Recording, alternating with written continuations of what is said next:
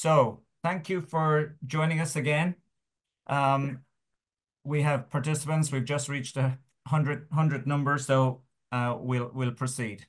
Um, my name is Tom Lonergan. I'm the education officer with um, IPSC. The other guy you can see on the screen there is Brian. Do you want to introduce yourself, Brian? Yes, indeed. Brian the Media Officer of the IPSC, and I've been involved for 10 years. It's a fantastic organization, and I have to say that I am flabbergasted by the amount of stuff happening around the country. Uh, one example being all of you here tonight, so fair play to you, very welcome.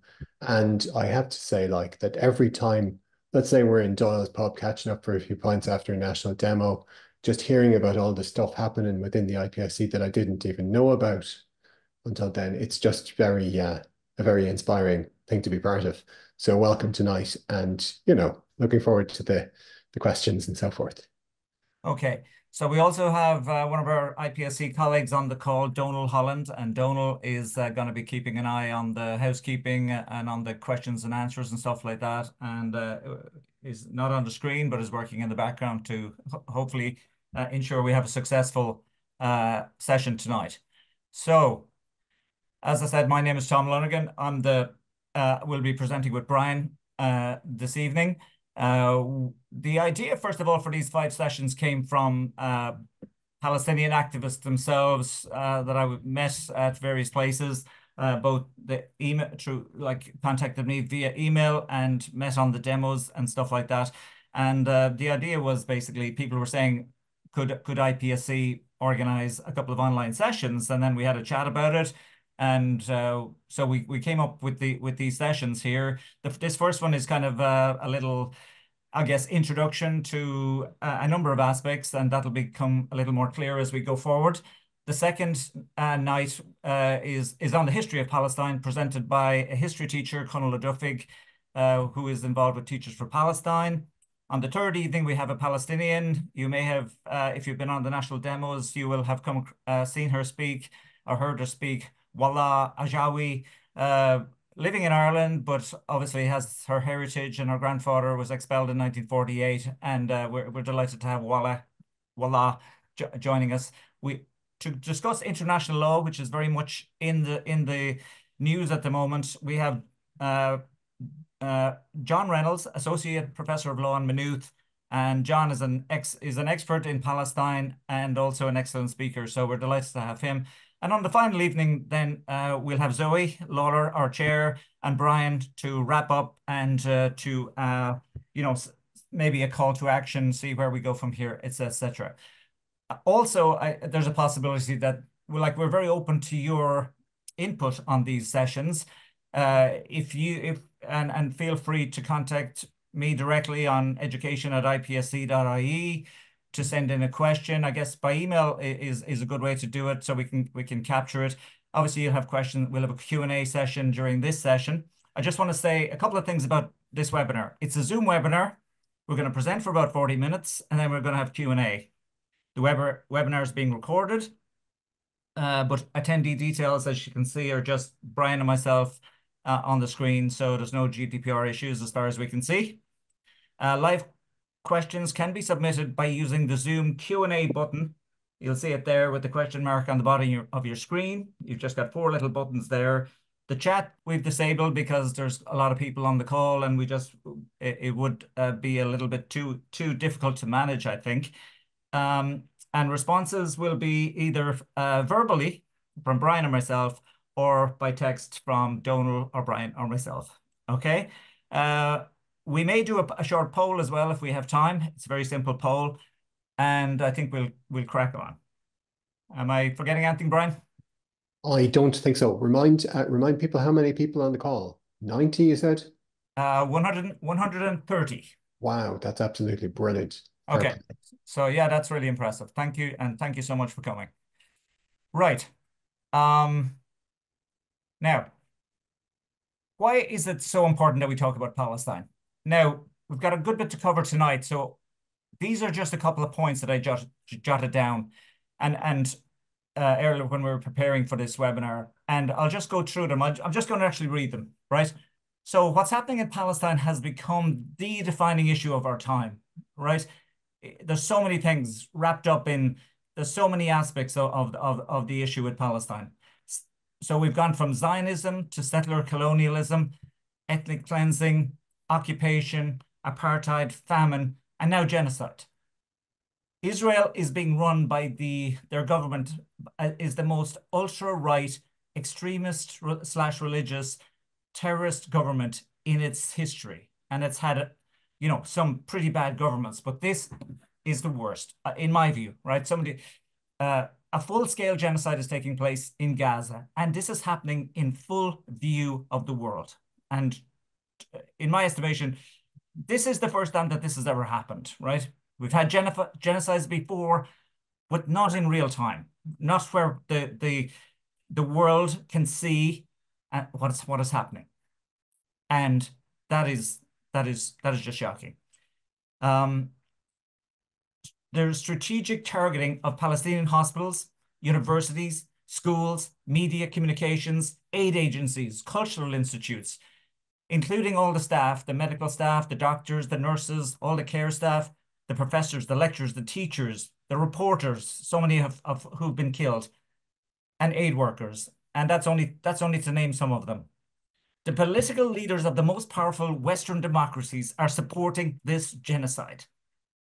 And this has implications for human, civil, and political rights, for morality, how we see morality, and social justice, not just in Palestine, in the Middle East, but everywhere. A few more points the rules, norms, and standards of international law are being attacked and undermined. Mainstream Western media fails to report the facts, spreads Israeli lies verbatim in many cases, and is complicit as a result in this genocide. The implications for the United Nations, the various UN bodies, the U Universal Declaration of Human Rights, which is, you know, we, we all uh, kind of see as as as you know under underlying the the human values that are that that people and the human rights that people are supposed to have is being undermined massively. There's a double standards are being applied in relation to Palestine by the West. And we can see that, for example, in how Palestine is treated compared to, for example, Ukraine. But that's just one example. Normalization of barbarism by Israel is happening and Israel is not a normal state. Impunity from legal prosecution within Israel for the Israeli occupation forces, the extremists, including eh, settlers in the West Bank, and impunity for Israel by the Western democracies. Here are some statements from leaders at various points. David Ben Gurion, the first prime minister of, of, of Israel in 1948, he said, with compulsory transfer, we have a vast area. And the vast area he's talking about the, the various uh, areas outside of Palestine. I support compulsory transfer. I don't see anything immoral in it. Golda Meir, I think she was the fourth uh, prime minister of, of Israel, she said, there is no such thing as the Palestinian people. It's not as if we can, came and threw them out and took their country. They didn't exist. Israeli Deputy Defense Minister in 2013, Rabbi Eli Ben Dahan, Palestinians are beasts. They are not human. Israeli Minister of Justice in 2014, they should go, as should the physical homes in which they raised the snakes. Otherwise, more little snakes will be raised there. Pure racism. And Israeli Defense Minister in 2015, those who are against us there's nothing to be done. We need to pick up an axe and cut off his head. These are ministers, leaders in Israeli government who have made these statements openly. I'll let you judge those statements for yourself. So many of us have seen this map uh, and, and what it reflects in terms of colonization, colonization, colonization, ethnic cleansing, and genocide. From 19, pre-1947, where Palestinians were still in control of the vast majority of the of the land, to the partition plan in 1948 or sorry 47, where the where uh, uh, Palestine was partitioned against its wishes in 19 to, to 1967 and to today, to the present day. And we'll be talking about this a little bit more in some of the sessions. Uh, Conal is going to cover it uh, next week as well. So I won't spend much time on this because Brian has some slides on it as well. But is is Israel is guilty of apartheid and by three of the main human rights bodies in the world. Uh, first of all, uh, B'Tselem, which is uh, the foremost Israeli Information Center for Human Rights in January of 2021, followed by a report from Human Rights Watch in April 2021, and uh, followed again in February 2022 by Amnesty International. The reality of apartheid, uh, integrating Jews, separating Palestinians. This is from the Human Rights Watch report uh, from 2021.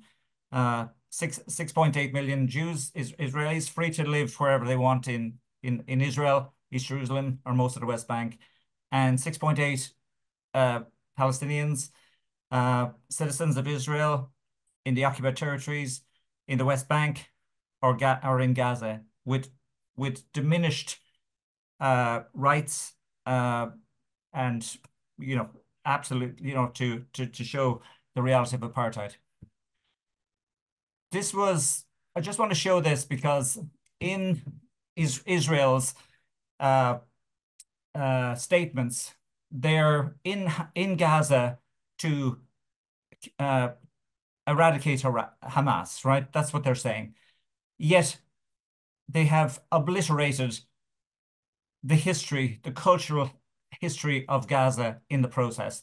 Over 195 sites of historical importance have been destroyed or damaged by Israeli bombing since October 7th, including an ancient harbour dating back to 800 BC, a mosque from 1277 AD, which that was the home of rare manuscripts, and one of the world's oldest Christian monasteries in 340 AD. I mean, this shows just the sheer systematic uh, genocide, culturalist educide that Israel is, you know, has has gone about in a targeted fashion. I just want to show a short film. It's about four and a half minutes long, and then I'll come back to you. Every June, Palestinians in Gaza and the West Bank, including East Jerusalem, mark another year of living under Israel's brutal military occupation, now more than a half century old. This occupation is characterized by the violent theft of Palestinian land and resources, racial profiling and targeting of civilians, mass incarceration and torture, and more. For decades, a supposed peace process has been ongoing to end this occupation, but instead it has served as a cover for Israel as it further entrenches its control over Palestinians and their land.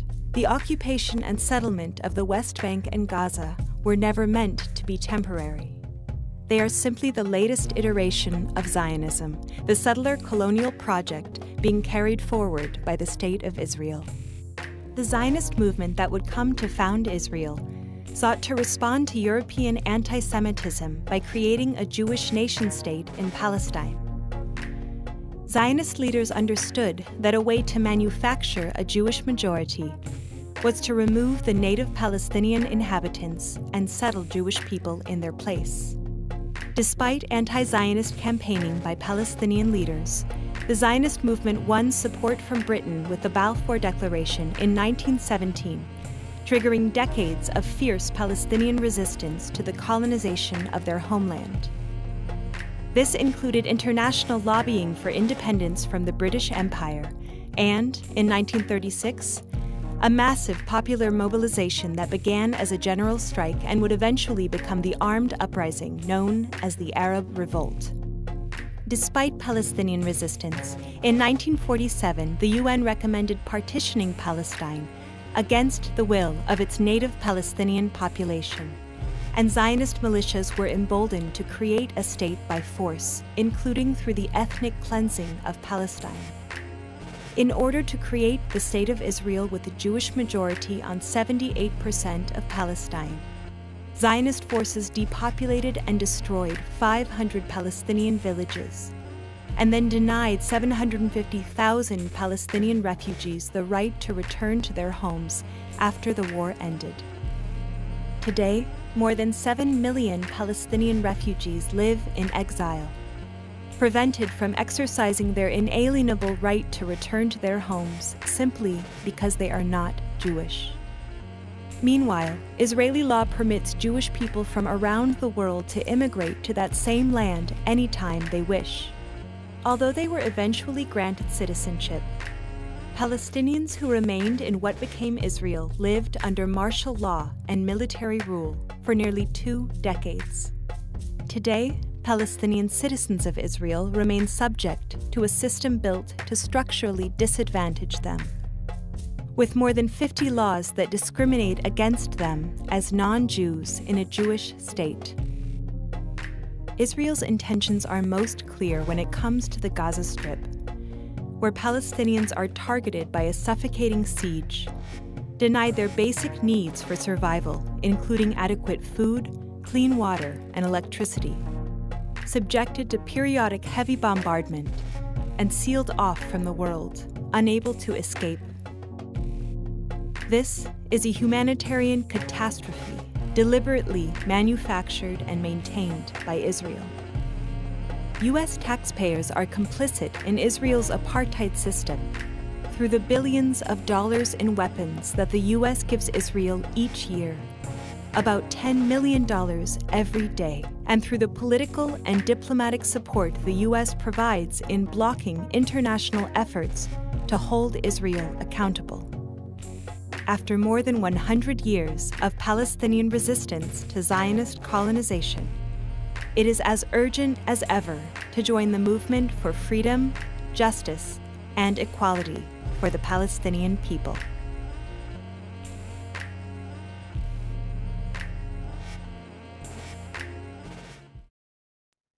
So, uh, one of the reasons I like that short film is in four and a half minutes, it summarizes the whole situation and basically says this is not complicated. Uh, this is a land grab by one group of people, the Zionist project, uh, over a land which was populated by the Palestinian people for centuries.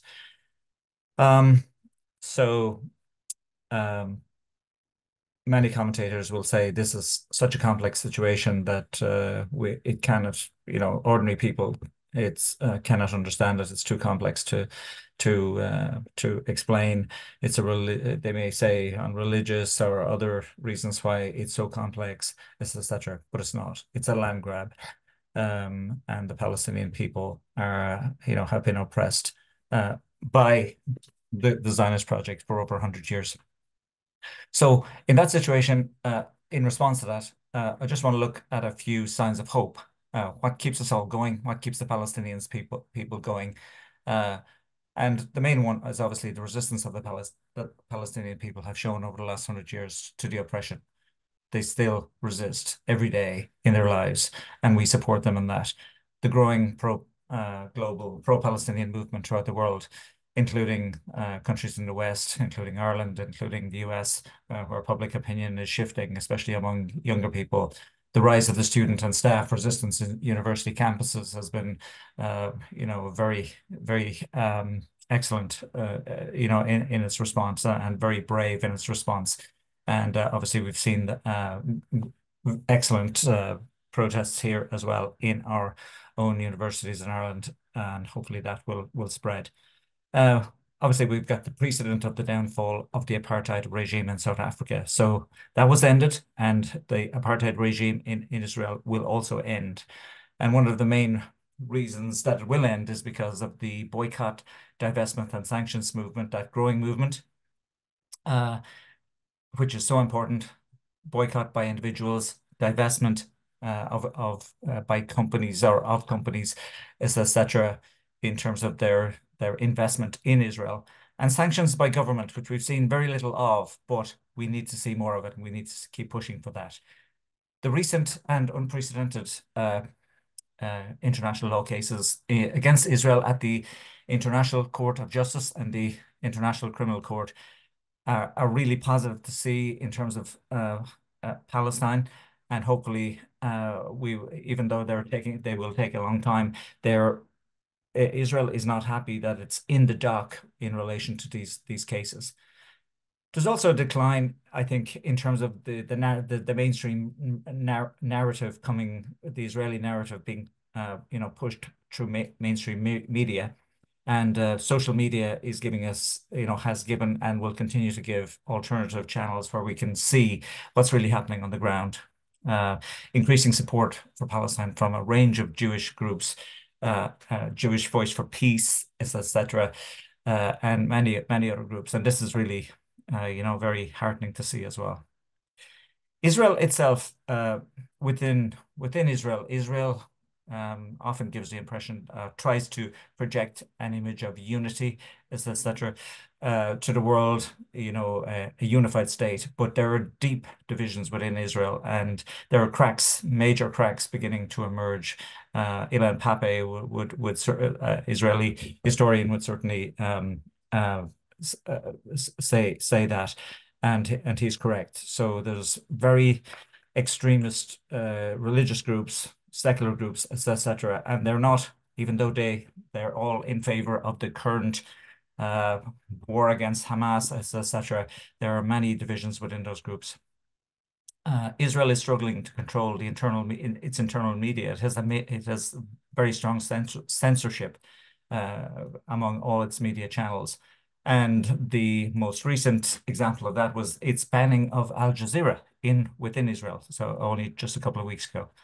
Um, and that's showing the pressure Israel is under to hold things together. Um, and what we want to see is increasing uh, isolation of Israel internationally through boycott, divestment, sanctions, especially sanctions. And, and I think that is beginning, beginning to happen as well. Okay, I've just got a couple of final slides, um, mainly uh, around what kind of resources, what kind of information, what kind of uh, books, resources, links, uh, videos, etc., are available that that are very good on on Palestine. If people are interested in in these, Brian is going to talk about uh, this a little bit as well. Uh, a couple of ones which I think are, are really worth recommending are Ilan Pappé, uh, the Israeli historian um, the ethnic cleansing of Palestine. Uh, it's an excellent. Uh, it, it's focusing on 1948 and what happened in, in, in 1948 and 47, 48, 49, etc. Uh, with the expulsion of um, and killing of a lot of murder of a lot of Palestinians, uh, an expulsion of 750,000 Palestinians. So that's an excellent one. Uh, similar, uh, excellent one is the Hundred Years' War on Palestine by Rashid Khalidi, a Palestinian. Um, excellent. Uh, again, uh, 10 Myths About Palestine by Ilan Pappé. Um, Gideon Levy, who still who still writes in Haaretz uh, newspaper in Israel, uh, is is actually you know excellent as well in terms of his uh, his articles, his his books, etc. And uh, Ali Abunimah, who is a Palestinian uh, based in uh, the US, but uh, very much in touch with, with the everyday situation in Palestine. I wrote this book, uh, The Battle for Justice in Palestine. Uh, he's also involved in, this is the website he started, the Electronic Intifada. It's been going for about 20 years. It's an amazing website in terms of the detail. Uh, it's the articles are written by Palestinian uh, journalists on the ground in Gaza, in the West Bank, many of them who have been murdered. Uh, and uh, uh, it's just an amazing, uh, absolute, you know, brilliant resource for anyone who wants to to keep up to date with Palestine. And the final one uh, is, is just the final slide here is just uh, a number of different resources, everything from visualizing Palestine gives the website links there. We'll share these also after the meeting. Um, excellent websites, Middle East Monitor, Mondoweiss, the Palestine Chronicle, uh, Palestine Campaign. Um, and the reason we're giving these kind of resources or recommending these resources is there's an awful lot of resources. There's an awful lot of links, videos, etc. on the on the on the on the web that are quite confusing. That will give multiple histories of Palestine, which will probably uh, confuse a lot of people, and and therefore, you know, it's very important that that pro-Palestinian activists have access to solid, well-founded, uh, fact-based resources. Uh, and and uh, we also mentioned here Al Jazeera, which is excellent. BDS. Uh, uh, if you if you want to if you want to uh, link in and just see two massacres that happened in 1948. One is a a village outside of Jerusalem called Deir Yassin, which was you know which you can read read about a massive you know horrendous massacre of Palestinians, and another uh, one called Tantura in North Israel, uh, North current Israel was northern Palestine, obviously. Um, as a recent film uh, based on that, and there are some links to it. Uh, we Are Not Numbers is, a, is an excellent website, a more recent website. Uh, there's a good debate there uh, just in that link, and the uh, the three links that we referred to earlier in terms of apartheid.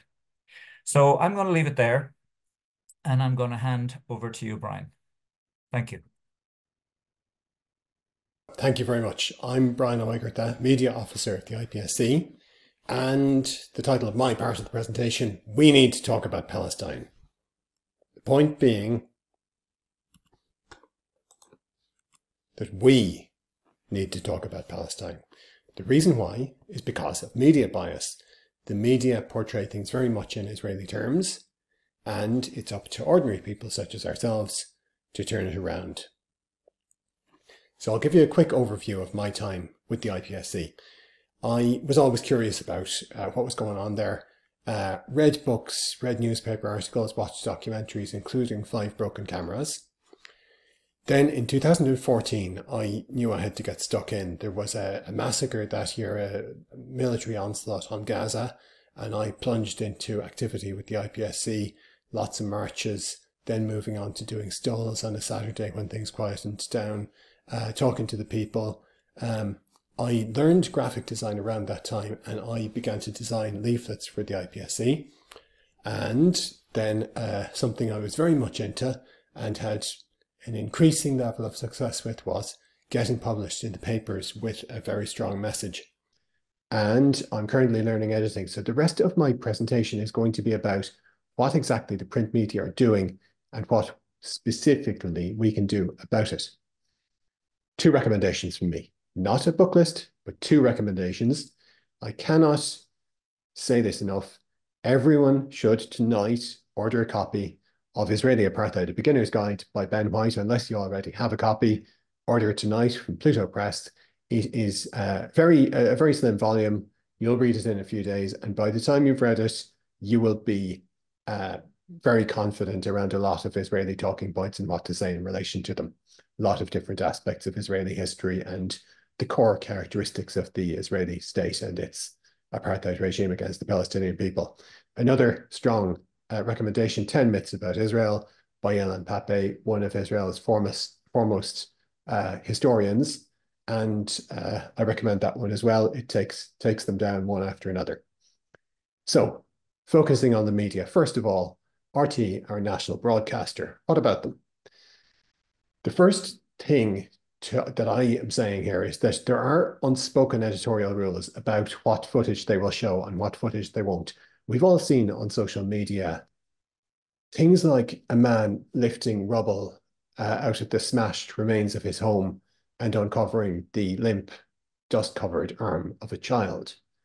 Now, RTÉ won't show that. They will show uh, 12 medics uh, busting in out of a out of an ambulance into a hospital and so forth. So there are certain things they will show. There are certain things they won't.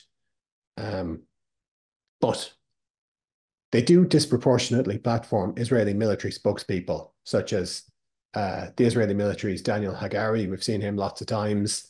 Lots of times he gets a solid 20 seconds, a solid 30 seconds to speak, unchallenged, reiterating the repeated lies of the Israeli military. Uh, we've had uh, Israeli Ambassador Dana Erlich on unchallenged. Now, if they don't have a Palestinian voice, and very often they don't, uh, if they don't have a, a, voice from a human rights organization, then that is is is absolutely deplorable. Um, more problems. decontextualization of the current carnage, by which I mean you would swear that history began on the 7th of October. So um, let's see, what is the context? Well, the context is apartheid and collective punishment. Uh, now, this was our flagship leaflet uh, in the days uh, before, you know, this carnage began. So it's covering the the issue, the issue basically Israeli apartheid in the West Bank, in Gaza, in the Israeli state itself, um, and it defines apartheid. And it was pushing the Irish government to finally recognise, because Micheál Martin and Simon Coveney hadn't admitted this. What we're looking at is apartheid, and they need to, to, to accept that and take effective action to stop it. Definition apartheid, a crime against humanity.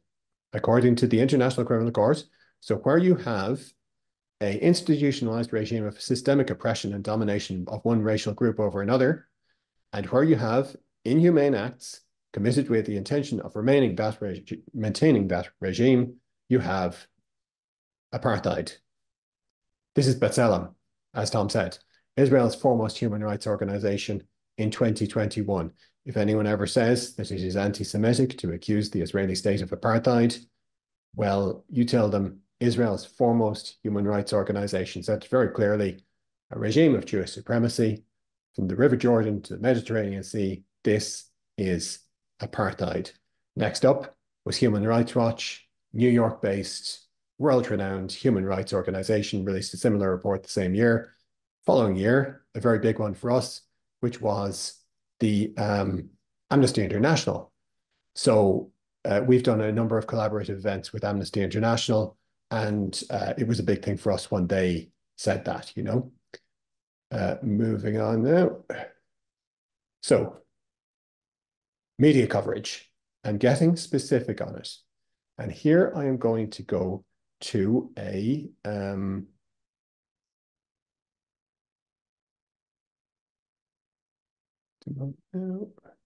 Yes, this is a style guide for journalists that we released to a specific media outlet who we had a meeting with, recommendations for journalists who wish to use language that is in line with international law and international legal consensus. Uh, we believe that the aim of journalism is to promote, clear understanding of issues. A reader should be able to read an article and understand the matter from a standing start. Don't just say the West Bank. It should always be introduced as the Israeli occupied West Bank invaded, illegally occupied since 2000 or since 1967. And similarly, East Jerusalem invaded in 1967, illegally annexed in 1980. The Gaza Strip, similarly under Israeli occupation, external occupation. Golan Heights, the same. Settlements should always be referred to in the media as Israeli settlements, illegal Israeli settlements, settlers, are illegal Israeli settlers. That is their legal status. Um, their, their presence there is a violation of international law. The papers often forget to say this. They talk about Jewish neighborhoods in East Jerusalem. Now, those are illegal settlements, and the papers have to be honest about this. Um, finally, uh, in this style guide, referring to Palestinians as gunmen so it's a term that has very negative connotations. It's a, a coded word in the media. It's been used many times in, in Irish history, obviously. It tells you here, a search of the Irish Times website shows 2,000 word, 2,000 uses of the phrases Palestinian gunmen or gunman, and only two results for Israeli gunmen or gunman. So we're saying, tell it like it is, bit of fairness, bit of objectivity, please. Now, back to the uh, next slide of the presentation. So,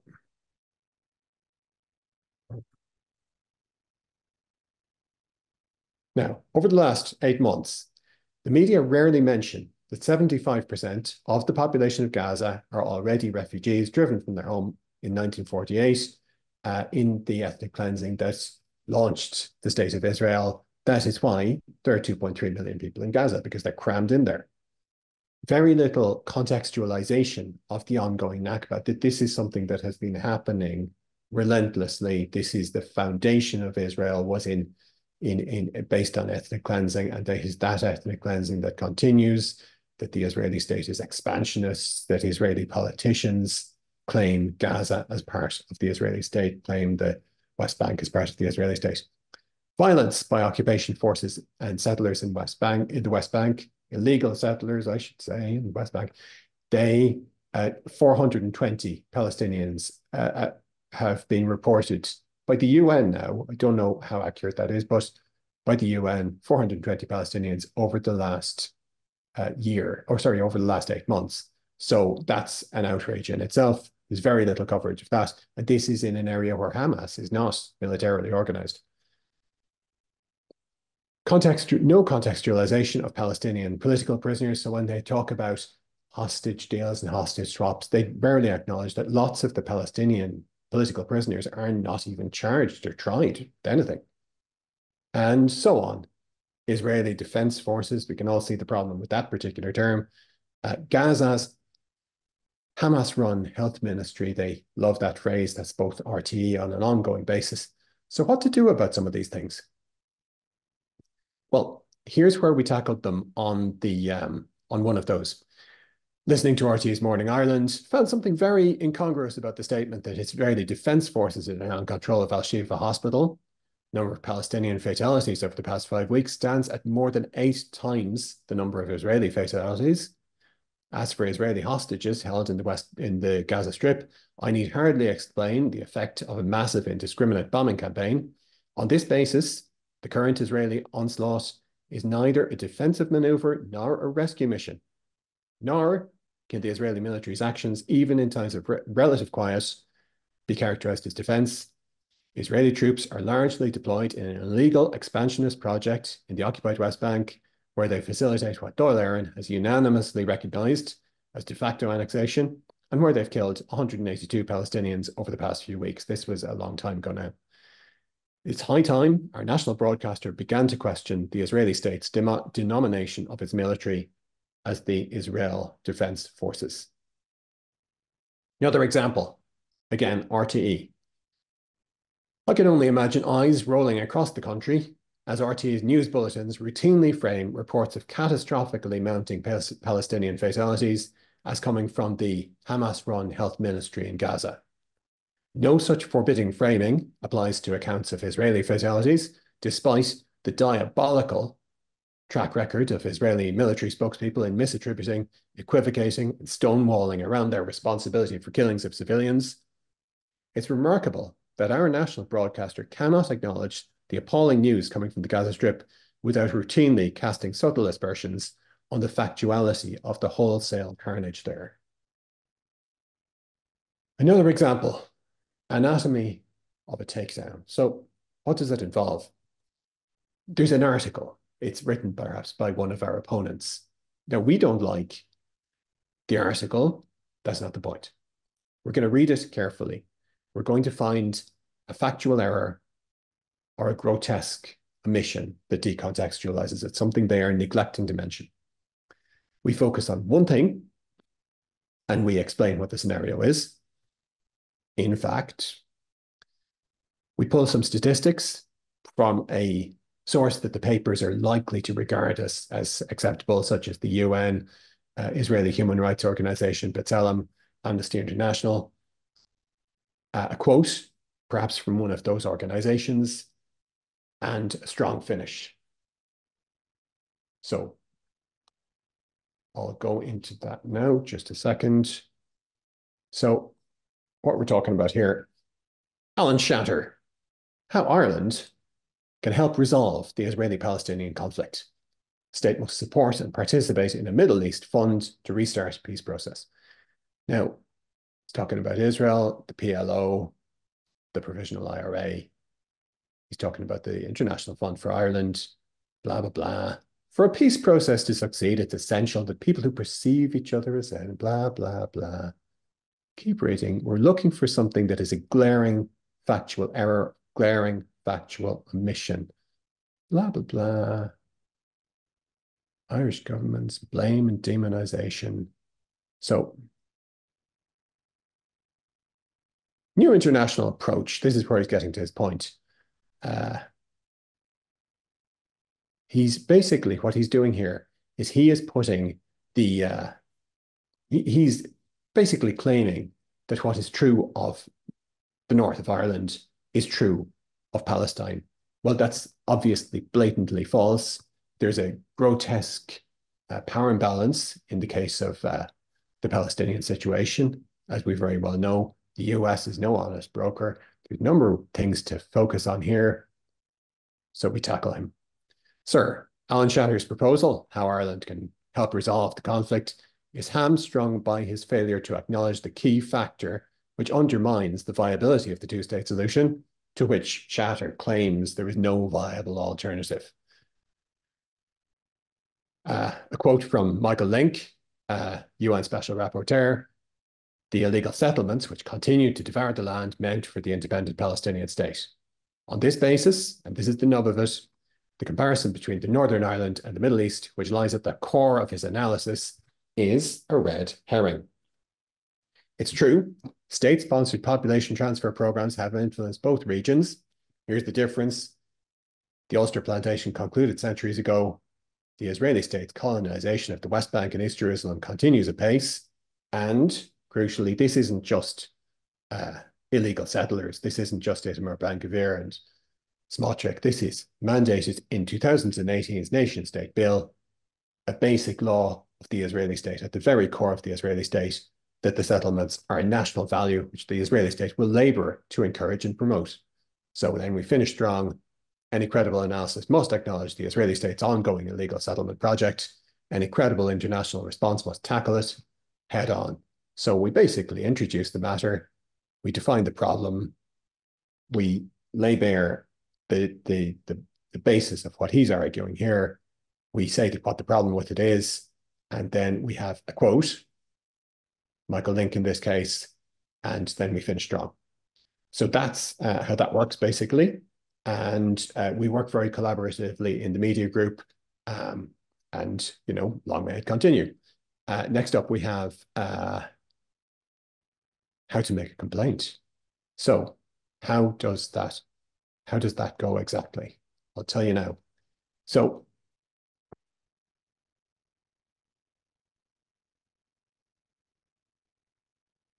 So this is uh, circulated within our media group or within the, the media group.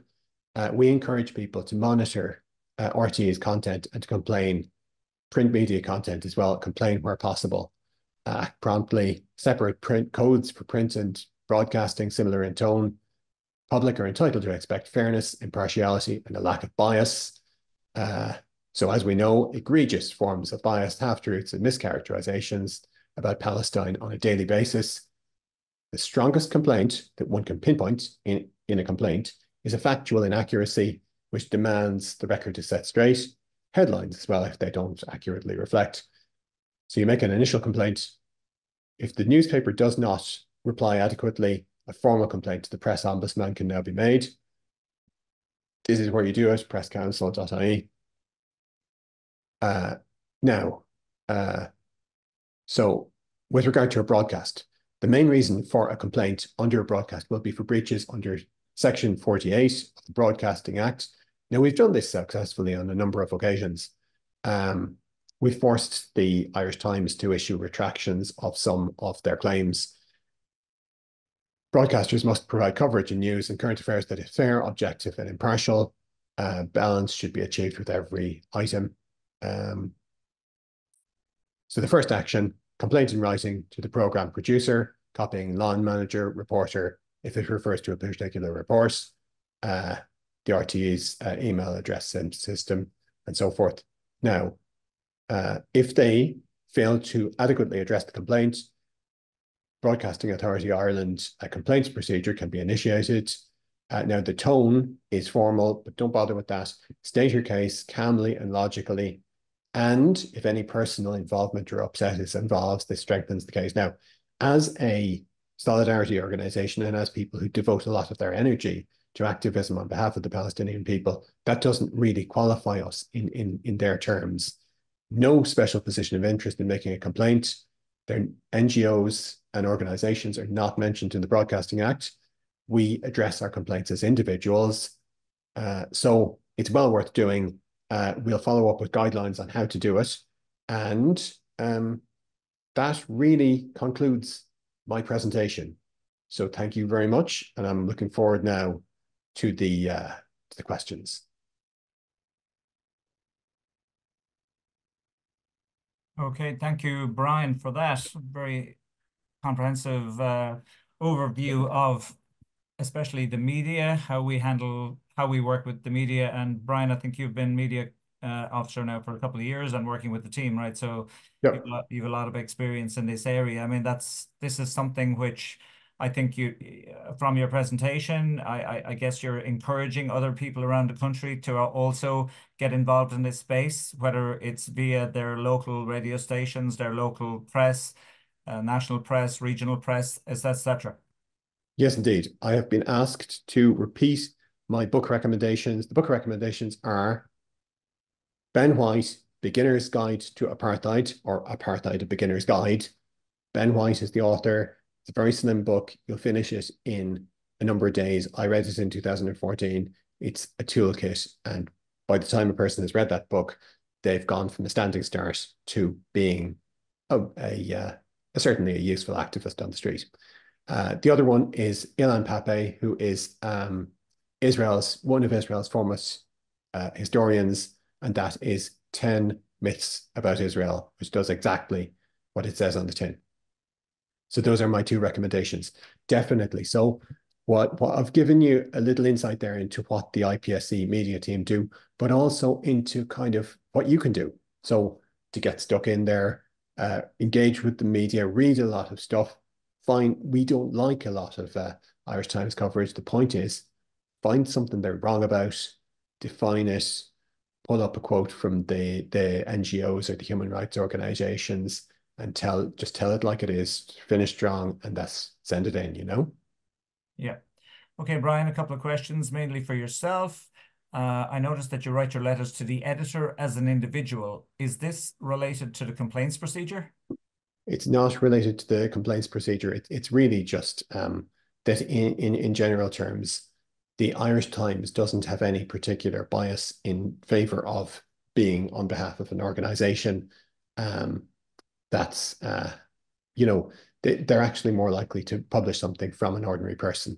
We've had less success being published as an organization than we have being published as just individuals. But uh, there's another factor, which is just um, kind of modesty, factuality, and and and modesty, and just a de facto scenario whereby I, I basically wasn't writing on behalf of the IPSC initially, and then I was, and you get the idea. And then I was kind of writing on behalf of the IPSC, so I just continued to to go under Brian Ó Éigeartaigh. Okay. Uh, another question there, Brian. Did you observe the discussion last week on Liveline? Uh, I emailed the program to correct some of the content, uh, but they did not correct a caller who stated conclusively that Israel was not operating an apartheid regime. Yeah, I didn't see prime time last week. I did see the other program, uh, News Tonight. Sorry, the live live line. I think it was. Oh, sorry. Good God, Liveline. Liveline was absolutely appalling. Um, fair play to anyone who phoned in on our side. Uh, it was it was just a morass. I didn't really uh, follow it up in detail.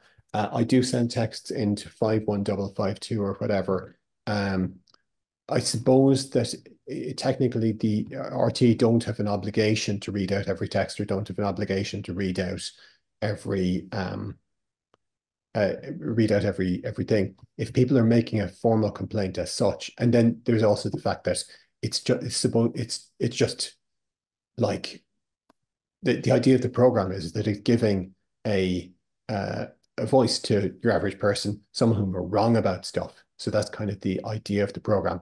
So I don't know if it would be grounds for getting a formal complaint off the ground if it was in an RTE news bulletin, which they were portraying as fact, so, such as that Shireen Abu Akleh was murdered in a gunfight between Palestinian resistance fighters and the Israeli military, um, then that would be grounds for a complaint if they said it in a news bulletin.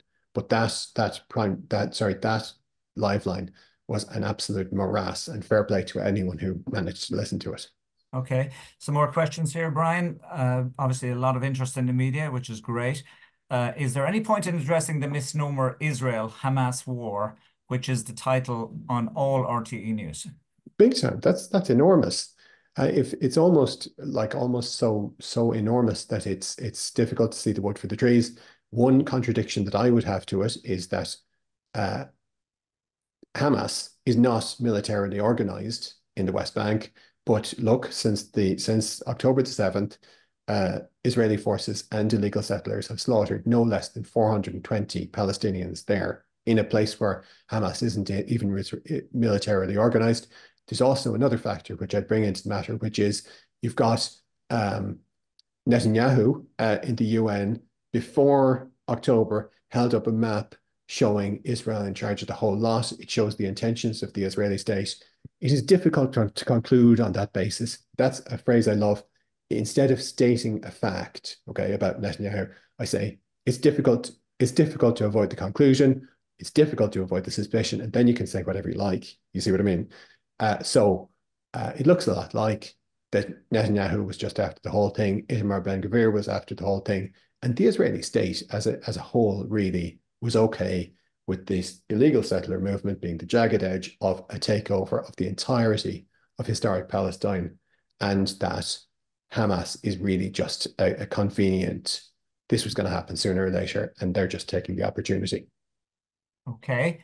Uh, question here. Next question. Uh, just thinking thinking this could be really useful. Uh, I think specifically again on media for development education slash teachers for Palestine.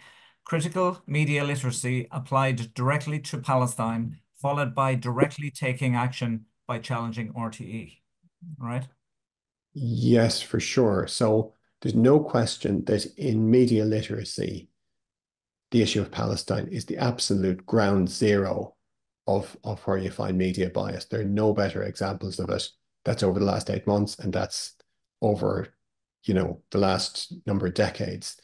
Uh, I don't understand, uh, I don't know much about the education side of it. Know what exactly teachers can do. Obviously, Teachers for Palestine is a brilliant organization. Um, yes, and, and obviously we have Connell next week, so maybe maybe I, we can keep that question. Uh, I know some of the people involved in Teachers for Palestine uh, have raised that in their WhatsApp group. So I think we, we can carry that over to next week as well. Yes, and I want to mention that we, we have far less leverage with RTE. So like, because the papers uh, publish letters in the papers, we can demand op-eds a person giving their opinion over 850 words. But in the case of RTE, we can only make formal complaints when they do a factual omission or factual error. Brian, you, meant, you mentioned uh, uh, BAI complaints or complaints to BAI. Ha have any actions or any outcomes, positive outcomes, ever take uh, happened as a result of these complaints? Yes, exactly. Uh, over the last two years, not with regard to RTE now in this instance, but the Irish Times were forced to publish the following day a retraction of what they had said. One of them was about Shireen Abu Akleh. The other, I don't remember what it was about. But even by making these complaints, you are putting a bit of pressure on them. You're making them think twice about saying these things. You're making them think twice about letting Mark Weiss's articles be published without a sub-edit on them. Uh, with regard to RTE, I don't quite remember. Um, not not recently. We haven't had a successful complaint recently, but we did put them under a lot of pressure with regard to. There was one thing which was at the time of in uh, early mid February uh, when it, there was so Leo Varadkar had scornfully rejected the idea of Ireland joining the ICJ case, and then uh, but by the end of the week he had changed his mind. RTE didn't say why, but what had happened in the meantime, and RTE effectively were invited, but they kept this a secret from the public. They didn't send any staff to us. Was in Buswell's Hotel there was a press conference featuring uh, people before profit, featuring Social Democrats, Sinn Féin, every single opposition party, as well as our good friend Senator Frances Black. And they were saying with one voice, uh, this is apartheid. Ireland has obligations. and RTÉ didn't mention any of that. That was the news event of the week. So they portrayed Leo Varadkar as changing his mind all on his own out of the goodness of his heart. We know he hasn't a shred of political decency in his political DNA. So that that's one example. So we put them under pressure just by putting the complaints in. It's not always about a success. It's about an incremental struggle, you know? Yeah. Brian, you've covered this to a certain extent, but there's a question there. Maybe they're looking for some additional uh, input from you. Do you have a language guide for us to use, which I think you effectively have, right? Yes. Um, alternative terms to language commonly used, and I, and I presume you're happy to share this, right? I don't know if we really have it in that format, to be honest. Okay, let me just read the rest of the question so you get the whole thing. Uh, alternative terms to language commonly used that shifts the narrative to one more in line with our position and more likely to promote a favorable response from our audience, especially the undecided and not fully on our side. We uh, that's the question is really do we have such a resource? And frankly, yeah. we kind of don't. It wouldn't be any harm if we did. But again, so, so uh, maybe we'll consider uh, uh, circulating something in the well, we, we, we'll give an update before the end of these of these five seminars. How about that? Hundred percent. And also okay. Ben White's Beginner's Guide to Apartheid, the, the first book I recommended recommended. Um, the end of that it concludes with a uh, basically a list of Israeli talking points. So and then a response to them, like Israel is looking for peace. Well, what are the illegal settlements about? All that kind of thing. Mm-hmm. So there you you are if you've read that, you are armed with yeah. the facts and how to how to get them across. Okay. We've got a suggestion here that maybe we could create pre pre-prepared letters and emails for complaints on articles and programs that are diluting the horror of what is actually happening. Maybe store them on our website so people could access and just edit to add the particular program or article they would like to complain about, i.e. Liveline last week. Absolutely. It's a good idea for sure. Yeah, yeah. I'm not sure would we publish them on our website though, would we? I'm not sure. Uh, no, but what we, we could we could circulate them internally, or maybe to to to IPSC groups or other groups that we are working with. Exactly, but if it was if it was one one shocking instance by you see the the the thing that would make it difficult is that all the different broadcasts are slightly different terminology. So how can you how can you have one template that addresses it? Yeah. But I I I'm I, I know it's a template. You said but yeah. what I'm saying is if there was a shocking thing by RTE, absolutely deplorable, we could sure. set something up on our website whereby loads of people can just send in the same template and change it a bit if they want. Okay, yeah, uh, Jerry, Jerry, we've got we've got input here from all over the country. Uh, uh, every county, I think, is represented tonight. Uh, we've got 165, I think, uh, on on our call. Uh, so that's Excellent. Uh, Derry branch is planning election hosting for Palestine for the upcoming Westminster election. Would there be any guidance? no, I don't. I don't really know enough to say about that. To be totally honest. Okay. I know. I know what we're saying to people here, which is basically if a party did not support the, uh, if they're one of the government parties, basically Fine Gael blocked the Occupied Territories Bill and delayed the illegal Israeli settlements divestment bill. And by the way, they think we've forgotten about it because they they took kind of unilateral action instead of legislation. They uh, they divested money, but said it was due to risk appetite, which could change. So, like we're saying, if you didn't support the Occupied Territories Bill, if you blocked the illegal Israeli settlements divestment bill, we're not voting for you. Simple as.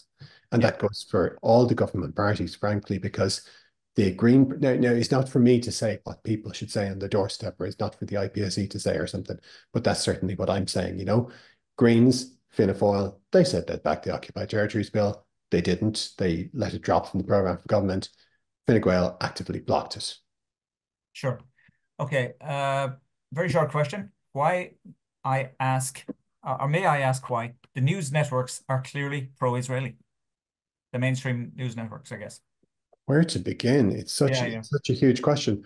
I suppose I, just I suppose it's because of racism, because of unconscious bias, because of uh, you've got the the geopolitical thing as well, whereby you've got Western media, and I do genuinely mean Western media, which is led by the two biggies, uh, New York Times and Washington Post, and and filters down from there. They set the the kind of standard much the same as the Irish Times within an Irish context sets the standard. But the Israeli state has been seen throughout the Cold War previously to that as like a a, geopolitical a US asset. Um, Chomsky has written a lot about it in the book Manufacturing Consent. So there's loads of reasons why basically uh, things are very biased and uh, the Palestinians are feeling the jagged edge of that. And uh, Brian will be on our final session, our fifth session with Zoe Lawler, and uh, there's going to be further further discussion. Obviously, there's a lot of interest in media, so there's going to be further discussion on that. Uh, I wondered if you had thoughts, resources for combating an opinion I hear that a free Palestine is not feasible in practice. I find it hard to articulate for people who are more closed off to radical thoughts like decolonization, decolonization, completely dismantling the Israeli colonial systems. Yeah, I mean, like it, it's fundamentally it's a fundamentally racist thing, isn't it, to portray uh, Palestine as as incapable of of of of of uh, self government. I mean, hundred years ago, uh, 120 years ago, the uh, the Crown was portraying the Irish people as incapable of self government, portraying Kenya, Malaysia, and so on and so forth. It's South always Africa. that's colonialism for you. But um, what would I say about there, there's there's a number of aspects. It's very problematic as well that people talk about what should happen after the current carnage ends, and they talk about it in terms of externally imposed solutions. Leo Varadkar did that, absolutely deplorable. And the fact is that that is a denial of uh, of, of self-determination of the Palestinian people. What's more, people will make much of this, right? They'll say, look, the, the, Mahmoud Abbas, this is our opponents will say, Mahmoud Abbas and the Palestinian Authority haven't held elections for since 2006. That is correct, by the way. Uh, and they refuse to do so. And then how can there be, you know, how can there be a partner for peace to negotiate with, or what can we expect from, from Palestine then on, on that basis? The fact of the matter is, the Israeli state is blocking elections from taking place in occupied East Jerusalem. So occupied East Jerusalem is treated as a different entity to the occupied West Bank, and generally Palestinians from the occupied West Bank can't even get in ever get into East Jerusalem. But uh, the point is, Israel is blocking elections there, and if the Palestinian Authority were to say, go ahead, let's have an election across Gaza and the West Bank, they would be acquiescing to the Israeli takeover, the illegal annexation of East Jerusalem. And that's very little, very, very rarely stated, you know? Okay. Where do you think the Irish media should focus on the issue from a domestic policy or governance perspective? For example, dual use exports, Department of Defense drone purchases, etc. Though, um, well, fundamentally, uh, what, if I understand that, like, what would I like to see the media focusing on? Uh, yeah. Well, we would say, uh, you know, we were demanding support the the the genocide case, and the the government are now kind of saying that they will. Uh, recognizing Palestine wasn't uh, was really just an empty symbolic thing unless it's followed by, and this is the point we're looking for legislation. We're looking for the Occupied Territories Bill, which isn't even a sanction. That is just doing the right thing in relation ending Ireland's complicity in relation to gross state sanctioned criminality and the illegal Israeli, the yeah, illegal Israeli settlements divestment bill, and that is just ending the Irish taxpayers' complicity in war crimes. Uh, besides that, we are looking for sanctions because if it was any other part of the world that this was happening in, if this was certainly if this was Vladimir Putin's Russia that was doing it, or uh, any of the states that are treated as a boogeyman by the West, then certainly there would be sanctions in place. So that's what we should be calling for is sanctions and of course, uh, you know, going that Irish media should be going to Palestinian sources more, and Irish media should be not challenging Israeli narratives. Look at all the things that the Israeli military have lied about over the past while, you know, and and uh, papers need to to keep that in mind and to treat uh, Israeli military spokespeople with the the skepticism that they that they deserve.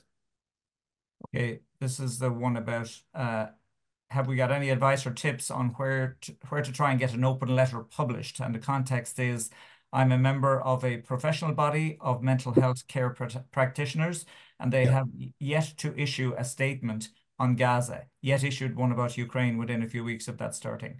I have an open letter drafted and a number of professional signat- signatories. Uh, it is long, so would that make it less likely to be published in the Irish Times or whatever? Yes, it's a brilliant question. Firstly, tell me about it.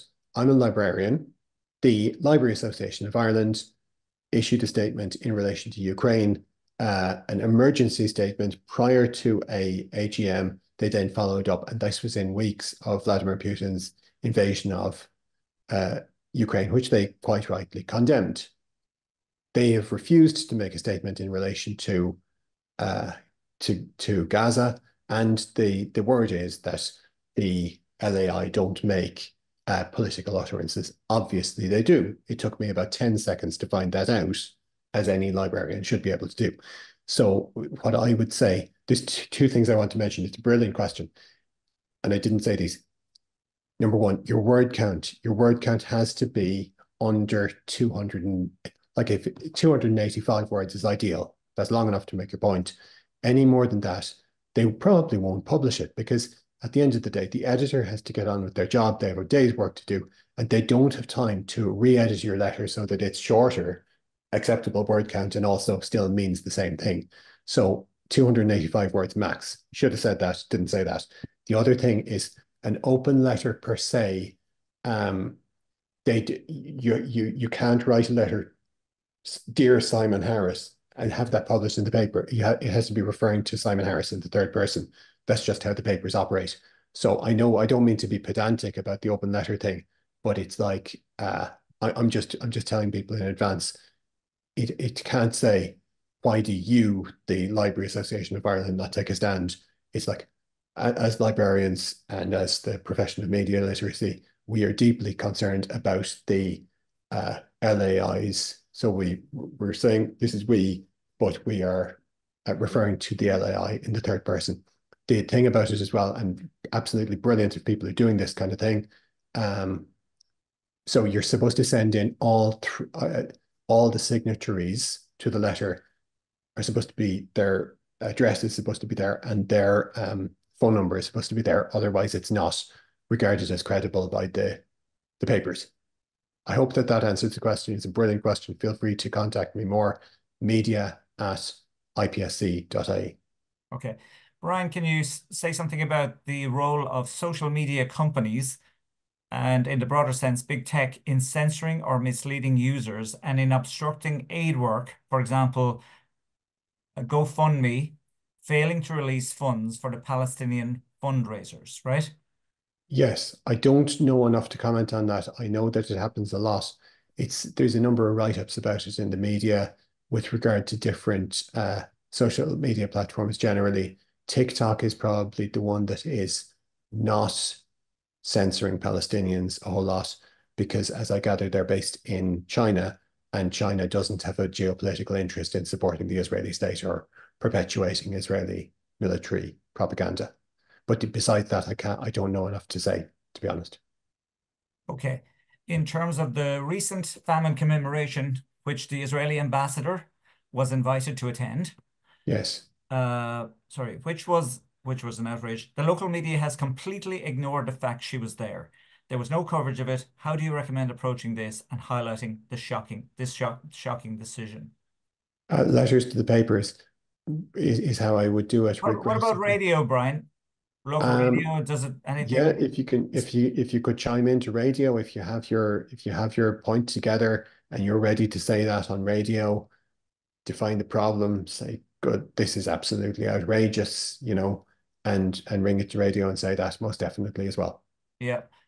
What about our position on the IPC position on the best response to the US government favored to to to red herring that the two-state solution must come about via direct negotiations between both parties, which we well, hear all the time. The first thing is that every uh, Israeli government over the last number of years be it the the the um, Yair Lapid's government or or uh, Naftali Bennett's government, they have, with increasing scorn, they have rejected the very idea of uh, of of um, negotiations with the Palestinians. So how on earth is there supposed to be direct negotiations when the Israeli government has resolutely refused to do so.